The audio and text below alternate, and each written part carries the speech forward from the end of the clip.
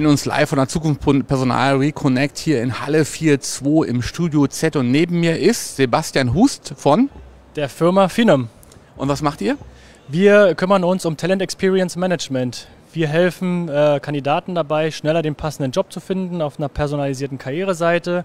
Wir helfen Recruitern dabei, bei einer Stellenbesetzung den passenden Kandidaten schneller zu finden. Natürlich auch Mitarbeitern helfen wir, den nächsten Job zu finden. Und naja, alles KI-basiert, alles end-to-end -End und gut auswertbar.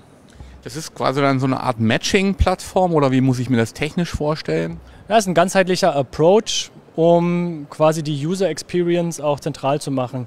Wir sagen ja immer, was hilft mir die schönste Technologie, wenn meine User das nicht nutzen, wenn meine Kandidaten nicht die richtigen Jobs schnellstmöglich finden, wenn ich irgendwie mit mehreren äh, Systemen arbeiten muss, um eine Bewerbung zu hinterlassen. Das sind natürlich unnötige Abbrüche und wir bieten eben eine Plattform, die eben end-to-end -end auf der Karriereseite unserer Kunden eben stattfindet, ohne Medienbrüche und eben halt auch äh, Daten sinnvoll nutzt, um passende Inhalte nicht nur allgemein anzuzeigen, sondern auf den individuellen User spezifisch. Ist ein bisschen kompliziert, sollte man sich einfach mal anschauen bei uns am Stand und wer die Möglichkeit hat, einfach mal anrufen. ähm, wer sind so die Kunden?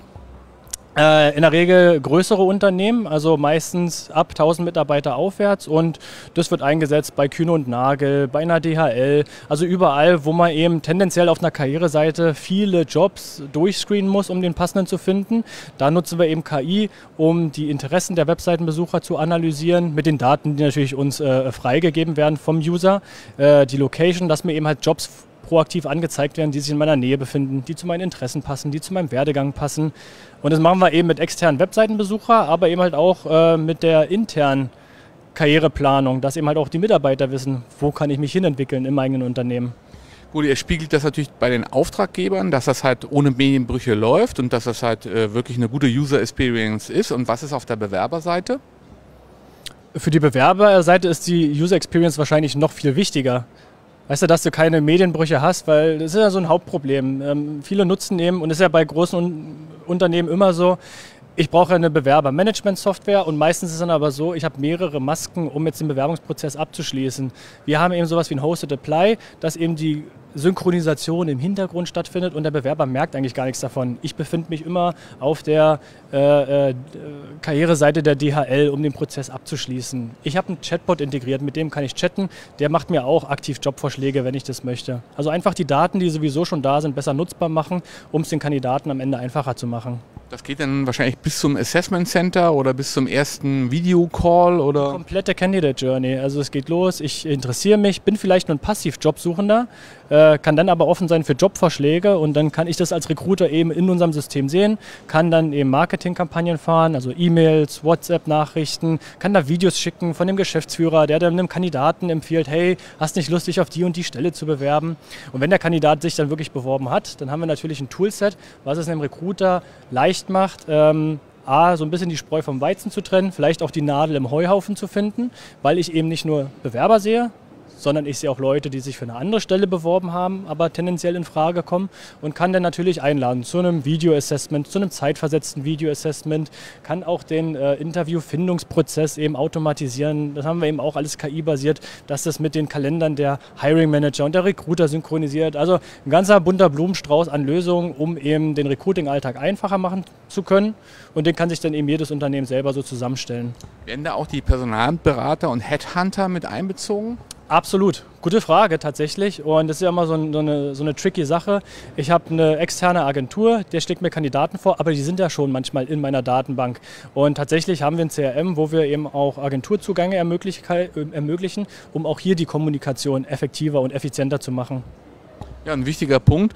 Ähm, ja, und was sind eigentlich so die größten Sünden immer noch bei Unternehmen, was falsch läuft? Also ich kann mir vorstellen, bei großen Unternehmen läuft das schon ziemlich rund. Wie sieht es im Mittelstand aus?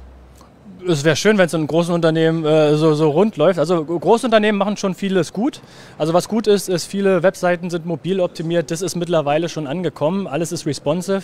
Das ist schon super cool. Äh, viele sorgen auch dafür, dass Karriereseiten schön aussehen. Aber schön aussehen ist eben nicht alles. Du musst eben auch die Daten sinnvoll für dich nutzbar machen und dann eben deine Kampagnen anpassen. Und da könnten wir unter Umständen helfen bei sowas. Und, ähm, und ich glaube, alles, was so Personalisierung angeht, wir kennen das doch von Amazon, dass eben, wenn ich einen Regenschirm suche, dass mir dann die passenden Gummistiefel angezeigt werden. Äh, wenn ich eine Serie bei oder eine Folge bei Netflix gucke, dann kriege ich eine Woche später eben eine ähnliche Serie vorgeschlagen. Und, und das ist KI, die vollständig im Hintergrund funktioniert, um mir die User Journey einfacher zu machen. Und genau dieses Prinzip übertragen wir im Grunde. Amazon und Co. sind natürlich auch gute Stichworte, weil das für mich auch immer K.O.-Kriterien sind. Also all, alle die, die in der User Experience schlechter sind, ja, kicke ich raus. Ja, also wer nicht so gut ist wie Amazon, ja, dann, den schiebe ich zur Seite das ist, wo der Markt halt hingeht. Ne? Das kann man blöd finden, das kann man toll finden. Am Ende des Tages ist es so, äh, die Technologie ist da und die Firmen nutzen es. Ich habe ja gerade schon so ein paar Beispiele genannt und ähm, ich glaube, das ist das große Thema in den nächsten Jahren, wirklich diese Daten zu nutzen, um eben User Journey zu machen. Wichtig ist natürlich, und das ist uns auch wichtig, wir haben einen sehr, sehr starken Europa-Fokus, dass man da den Datenschutz nicht außer Acht lässt. Ne? User-Consent muss da sein, Datenverarbeitung nur in Europa und wir sind halt eine Firma, die hat sich darüber schon Gedanken gemacht, mit einer Technologie, die halt schon in anderen Ländern wunderbar noch ein bisschen weiter fortgeschritten ist als in Deutschland. Hier findet man euch noch äh, in der Halle 4.1, ne? Man findet uns tatsächlich in beiden Hallen. Wir haben unsere Meeting Points überall und äh, ich weiß jetzt nicht die genaue Standnummer, aber es steht ganz groß Phenom drauf und kommt gerne vorbei, falls ihr noch da seid. Und im Netz? Im Netz unter äh, phenom.com, also Phenom wie Phenomenal, P-H-E-N-O-M.com. Super, ja, Sebastian, dann noch viel Erfolg für eure Arbeit, für den Messeauftritt. Achso, ja, und ein Resümee zur Zukunft Personal?